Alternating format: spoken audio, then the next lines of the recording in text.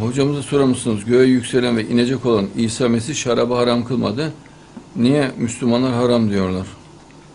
E, yeni bir şeriat bu İslam. Yani mesela Musevilikte şarap serbest. Ama hakir bir içki olarak geçiyor Tevrat'ta. Yani e, sevilmeyen bir içki olarak geçiyor. Ama haram değildir. E, Hristiyanlarda da yani çok içmek değil de sembolik içmek var. Çok az. Belli belirsiz içmek var. Öyle yani ayyaşlık falan yok İncil'de. Tevrat'ta da yani bayağı lanetleniyor öyle bir uslup. Lanetleniyor değil mi? Yani sert bir uslup var o duruma karşı. Ee, geldiğinde herhangi bir hüküm getirmeyecek, direkt Kur'an'a uyuyor. İnşallah. Kur'an uyuyor. Ama İncil'in hükümleri de Kur'an'a uygun hükümleri geçerlidir. İncil sevgi kitabıdır. Yani İncil'in okunmaması çok büyük bir hatadır. İncil güzel ahlakı, terbiyeyi, insan sevgisini mükemmel anlatan bir kitaptır. Büyük bölümü de doğrudur. Ama o teslis, inancı sonradan ilave edilmiş, e, Roma putperestliğinden etkilenerek ilave edilmiş bir inanç sistemidir. Ama üç aşağı beş yukarı İncil bozulmamıştır. E, Dolayısıyla e, Allah'ın haram kıldığı bir şarabı İsa Mesih asla içmez. Geldiğinde göreceksiniz zaten. Yani Kur'an'ın helal ve haramına titiz olur. Ama İncil'e de uyacaktır. Yani İncil'in hükümlerine uyar. Ben de uyuyorum İncil'in hükümlerine. Yani Kur'an'a uygun hükümlerine uyuyorum. Tevrat'ın da Kur'an'a uygun hükümlerine uyuyorum. Niye uymayayım yani? Her gün Tevrat, İncil okuyorum. Her gün. Her gün Kur'an okurum.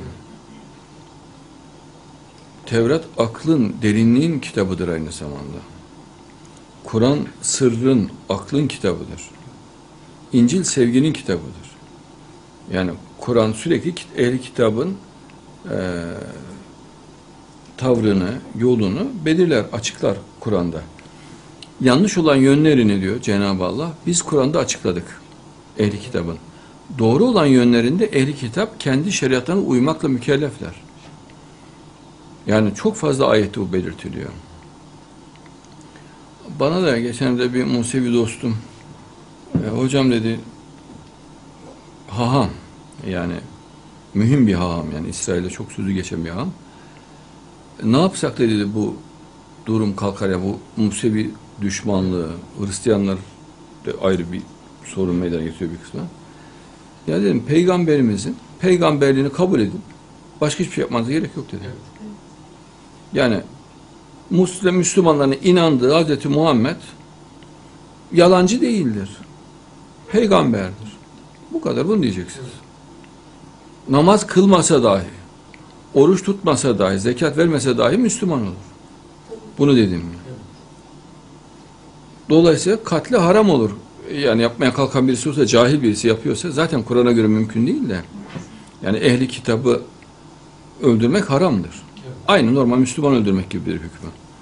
Fakat ayrıca bu bu şekilde açıklanırsa kalpleri iyice rahatlar dedim. E biz zaten dedim Müslümanların peygamber olarak kabul ettiğini peygamber kabul ederiz dedi. Yani biz öyle bir şey yani çünkü ona zaten inancını kabul ediyoruz biz dedi yani. Onları Müslüman olarak görüyoruz. Yani onlar zaten sahte peygambere inansa biz onları e, Beni Nuh olarak görmeyiz dedi. Yani Müslüman, mümin olarak görmeyiz. Yani sahte peygambere inandıklarına inanmıyoruz dedi yani. Tabii ki onların inandığı peygambere saygı duyuyoruz ve inanıyoruz dedi. Yani doğru olduğuna inanıyoruz dedi. E o zaman mesele yok. Bunu açıklasın. İsrail resmi olarak açıklasın. Ve İsa Mesih içinde. İsa Mesih bir peygamberdir. Bu kadar. Yani Hristiyanların peygamberidir diyecek. O kadar başka bir şey demesine gerek yok. Hazreti Muhammed Müslümanların peygamberidir. Bunu diyecek bu kadar. Yani ama peygamberdir diyecek. Yani biz de peygamber olarak kabul ediyoruz. O kadar. A, Tevrat'a yine uy. Uyuyorsan uy Tevrat'a. Bir şey yok bunda bir beis yok yani. Yani bir kere Müslüman olmuş oluyor. Yani çünkü la ilahe illallah diyor mu? Diyor. Peygambere de ne diyor? Muhammeden Resulullah diyor. E bitti. Müslümanlığın bir tane şartı vardır. Müslüman. La ilahe illallah Muhammeden Resulullah diyen adam Müslümandır. Günahkar da olsa Müslümandır. Yani sen ona Müslüman değilsin diyemez. Hristiyan içinde La ilahe illallah İsa Resulullah diyorsa tamamdır. Biz nasıl diyoruz? Değil mi? İsa Resulullah diyoruz. Musa Resulullah, Muhammed Resulullah diyoruz. Hazreti İbrahim Resulullah diyoruz. Bunu demezsek olmaz. Yani bir peygamber eksik olursa din çöker. Hepsini kabul edecekler. Tevrat'a uysun. Uyuyorsa uysun. Tevrat'ı övüyor zaten Kur'an. Uygun olmayan, yanlış olan yerlerinde açıklıyor.